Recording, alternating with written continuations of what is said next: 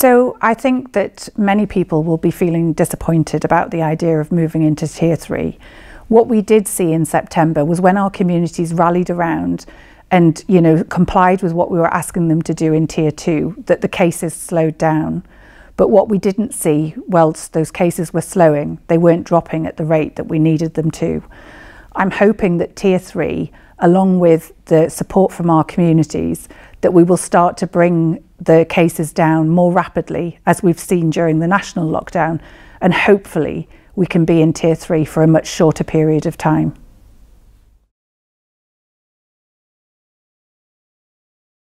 I think the tier system is part of the solution, but for us locally, that's not the entire solution. And what we really want to do is to, um, alongside the tiered system, to localise the test and trace arrangements so that we can provide accessible testing for our community and robust contact tracing.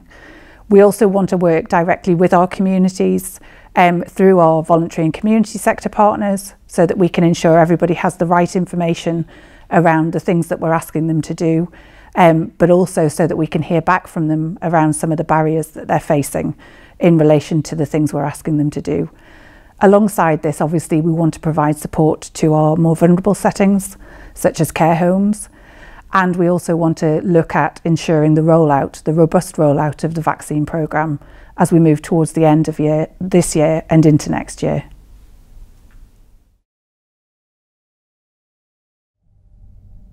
So I would say the most reliable source of data is the official UK government website for data and insights, and that can be found at coronavirus.data.gov.uk.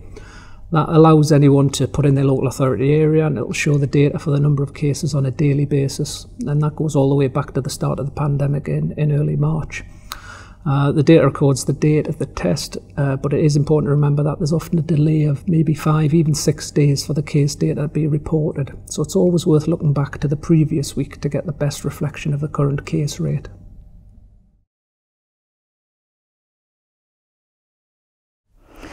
So I definitely think we'll get through this. You know, actually the uh, work that's happened this year, you know, with our communities and with all of our public sector partners has been amazing. And um, what this has done is it's shone some lights on some of the things that we really need to address post-COVID, such as tackling the issues we've got with inequality in our community. And I think that the work we've done over the last few months will put us in a good position to start doing some of that work together. Clearly, it is a significant challenge. It has damaged our national economy, but importantly for us, our local economy. And we know that this has really affected the businesses and the families and the communities of the Northeast to a greater extent. So, what this will enable us to do is to come back, you know, stronger, to reflect on the things that have worked over the last few months our ability to work really quickly and make changes where we've needed to, but it will also give us an opportunity to think about what we need to do next to help people recover from the experience that we've had as a result of COVID 19.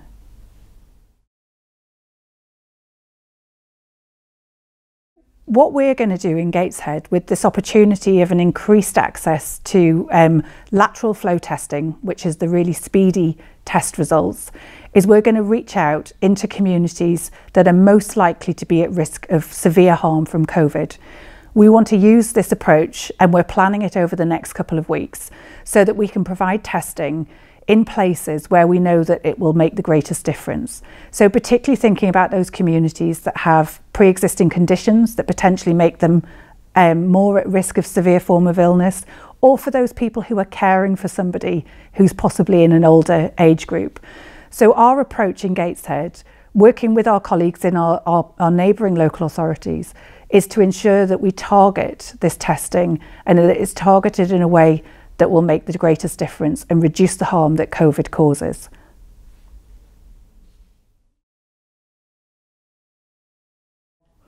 So I really don't want to um, underplay the significant challenges that have been overcome in producing this vaccine or these vaccines at the speed that have been produced over the last couple of months.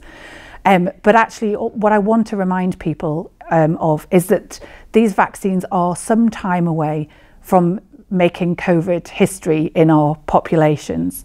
And so, what I really need to do is to encourage people to continue to follow the advice that we're providing them with and to keep their family as safe as possible for the next few months. Next summer, I'm hoping that these vaccines will have started to have an impact in our communities and life will start to return to normal. So it is really exciting, but I also want people to try and be patient.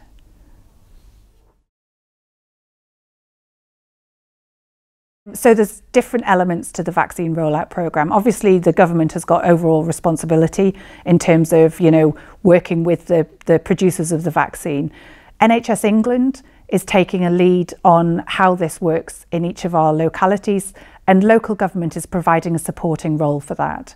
So we are not the lead on the vaccine rollout, but we are absolutely there alongside our NHS colleagues, identifying places where the vaccine can be offered from at scale when the supplies become available for the, for the programme to be fully rolled out.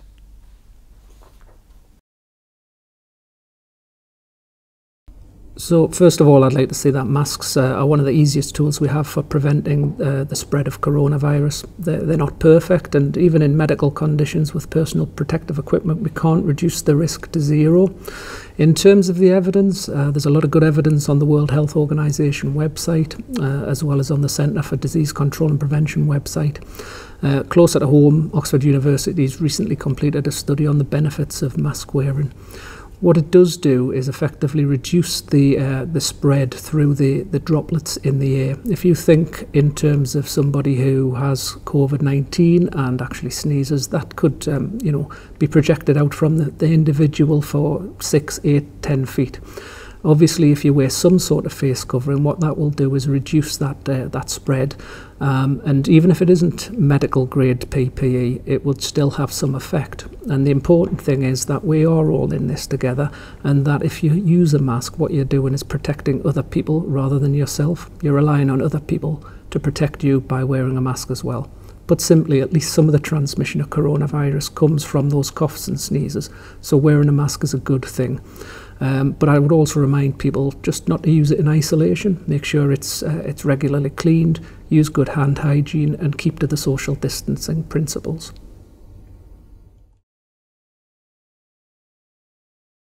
So the prolonged use of masks can be uncomfortable, uh, although the best evidence we have around this is from healthcare professionals who continuously wear masks for long periods of time, and they haven't reported any long-term effects.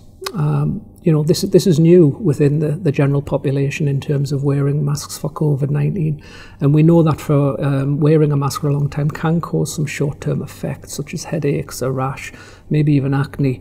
Uh, but when wearing a mask, just make sure it fits properly, that it's tight enough, uh, whilst allowing you to breathe normally, and that it's comfortable. I think they are the principles we need to stick to in this instance.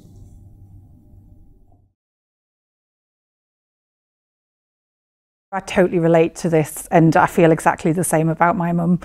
Um, you know, obviously the government has said that we are allowed to mix households, but what I would urge people to think about is the risk that that then causes. So rather than the government telling people what to do, families need to think about what, the, what is the right thing for them. So, for example, my sister wants to see my mum at Christmas, so she's agreed to isolate for 14 days ahead of Christmas Day so that she knows when she goes into the house on Christmas Day, she's not going to pose any threat to mum. Um, there are also other things that people can do, you know, so thinking about the venue that you're meeting in, so meeting outdoors where that's possible, um, and also having really, you know, good ventilation if you do want to meet within a household. So again, what I would say is to families of people in Gateshead, don't let the government tell you what it is that you can and can't do. Make the right decisions for your family based on the risks that we know for COVID.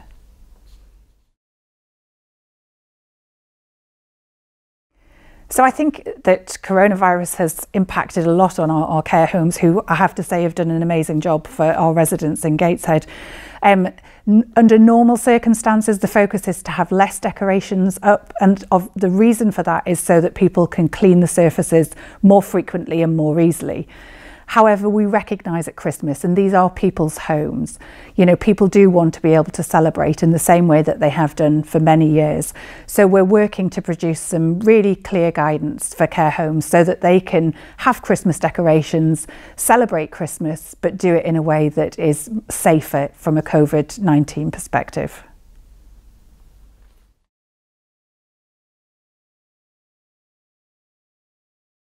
So, in the main, I think one of the most important things we do is to enable education to continue. You know, we know that education is a real foundation for future life. And what I really don't want to do is for these children and young people to be disadvantaged long term as a result of, of COVID. We know that the difficulties that were faced by some families earlier in the pandemic when schools were closed were very challenging you know, both in terms of, you know, having to educate children at, at home, having to have access to, you know, IT equipment to enable them to access the same education that their peers were.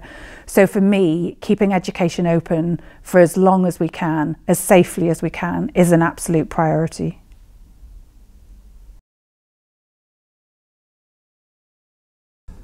So the government's guidance in schools is that uh, those that teach year 7 and above should follow local restrictions and guidance and have the discretion to require face coverings for pupils uh, and staff when they're moving around in communal areas outside of the classroom where it's difficult to maintain social distancing. You know, we're talking about corridors and, and um, canteens and such like. Uh, secondary schools and Gateshead are asking pupils to wear a face covering whilst moving around the school but not in classrooms. So in a word, no. Our schools have worked incredibly hard over the last few months with us to ensure that the school environment is as safe as it possibly can be.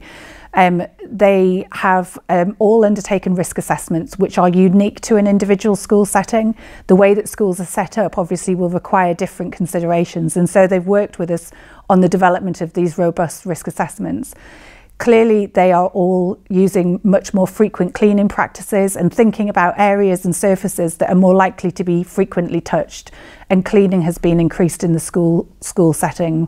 Many of the schools are also thinking about ventilation, and many of the schools have limited uh, the movement of children from classroom to classroom to avoid this mixing of bubbles. So I have to say, the schools in Gateshead have done a tremendous job around providing a safer environment for children and young people to continue their education.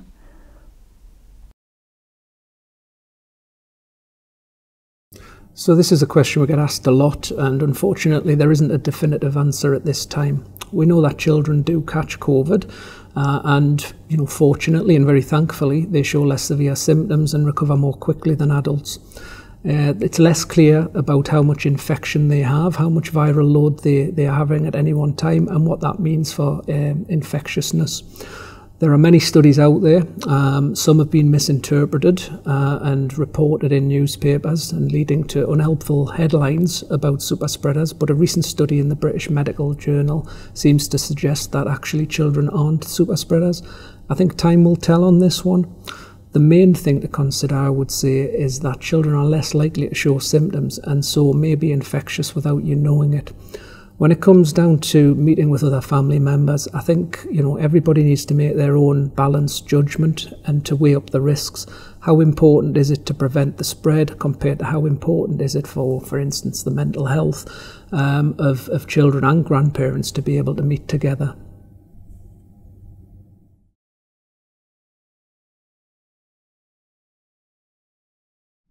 So I think this is an interesting question because it shows some of the misunderstandings we have about COVID-19.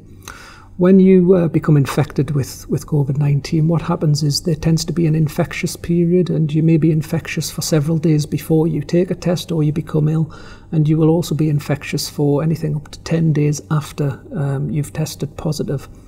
During that time, there's little point in taking another test because you will still have a viral load there and will still test positive once you've passed the 10 day mark, you are no longer infectious, you can return to normal activities. If you were to take a test at that point, even though there is still a chance you would test positive, it all hinges on the infectious period.